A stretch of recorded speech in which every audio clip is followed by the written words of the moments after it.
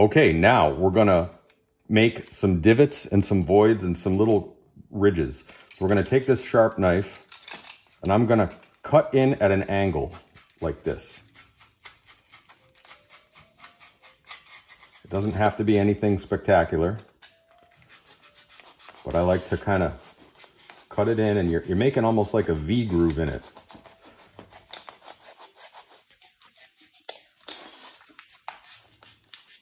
And the rougher the better, honestly. It doesn't have to be a thing of beauty. And you just want to keep going until it kind of naturally pops out.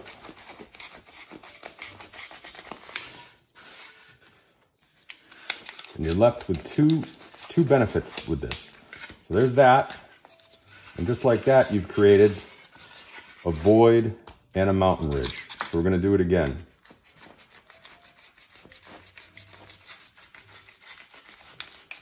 And again, all of this gets cleaned up. All of this starts to take shape very quickly. And honestly, the rougher the better.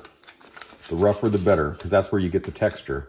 So as you can see, you're starting to get mountains and hills and ridges and things. And you can just put these randomly wherever you want. It doesn't have to be any rhyme or reason to it, wherever you want them.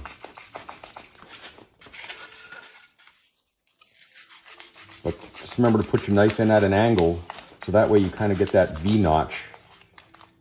And what you get in a second here is that, that sort of landscape. So now you've got your craters. Now you can put your mountains in wherever you want. Sometimes I like to overlap them a little bit maybe a little bit wherever you want to put them. You know, just kind of figure out where it works for you, where, where best for you. But that's how you do that. Then you glue this all down and we'll see you in the next step.